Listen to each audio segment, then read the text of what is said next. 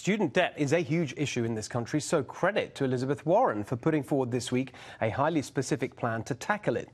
The problem is, those specifics are, how can we put this, somewhat loony. Elizabeth Warren's student debt relief plan is this week's loony left.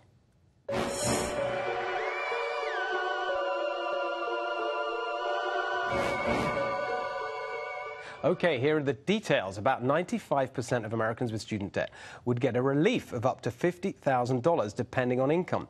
Warren says it would be cancelled completely for 75%. According to Warren, the plan has a price tag of 640 billion dollars and would be paid for by an ultra millionaire tax on the 75,000 families with 50 million dollars or more in wealth. So there are two very big flaws in this plan, to say the least. The first is this money she keeps talking about, the, the uh, ultra wealth tax. She's spending that over and over again. I mean, almost every single promise that costs money is going to be funded by that one tax. And then secondly, this particular thing is not even that progressive. This doesn't actually help working Americans barely at all. I mean, this is a comment from the, uh, David Leonhardt in the New York Times. Talking about Warren would wipe out debt for anyone making less than 100,000, which means that a 24-year-old in Silicon Valley making $90,000 and on a path to earn more could get a windfall. Uh, make tuition free at every public college, including those with overwhelmingly upper income students. So she's taking from the, even if you believe her plan, she's taking from the very, very richest to give to the pretty well off.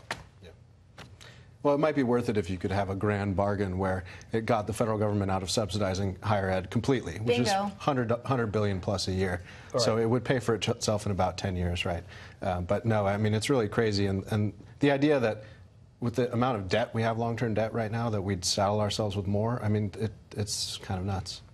Tony? Well, why should I, and I'm only 26 years old, by the way, but why should I and other taxpayers be burdened with paying for someone's women's studies degree or their philosophy degree or whatever degree they have that's not going to turn into an actual job and actual income? Why should that be burdened upon the taxpayers? Yes. yes, student debt is an issue, but if you want to, exactly what you said, if you want to eliminate that, you get the government out of the student loan business, you force colleges to compete with one another, therefore driving down the cost, because colleges have no incentive to lower their tuition. They make it as high and high and high because they know it's going to be forgiven by the federal government. You're going to have Elizabeth Warren saying, we'll just tax the, the millionaires and the billionaires. And the colleges are like, great, just keep racking up the, the tuition dollars. They're the ones that are winning this through this. Children are not winning at all. Parents are not winning at all. Students are not winning at all. It's the government that's winning by coming in and being the savior. And it's the colleges who have that's inflated prices. This is really well put. That, that is the, the problem at the heart of it. And her thing makes it worse, doesn't help. Yeah, I'm, I'm always so sick of the Democrat talk about fair share. I mean, why should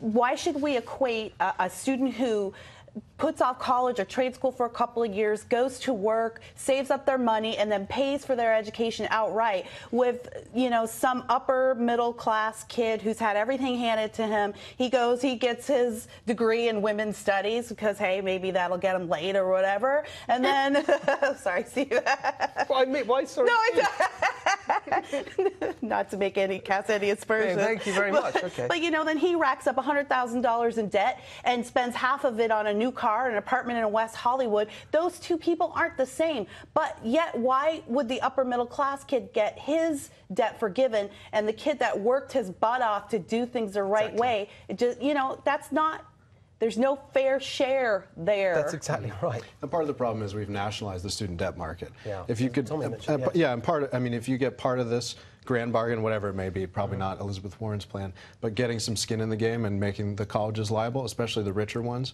for yeah. part of the debt, part of the debt that they force their students to take on. There are there are, there's some interesting start, business startup in the private sector actually doing that, mm-hmm. really tying the outcome to what you pay so that there's an incentive not to do those ridiculous courses that don't get you anywhere, but actually something that is of real benefit and more practical and vocational and all the rest of it. All right, I think we have better leave it there.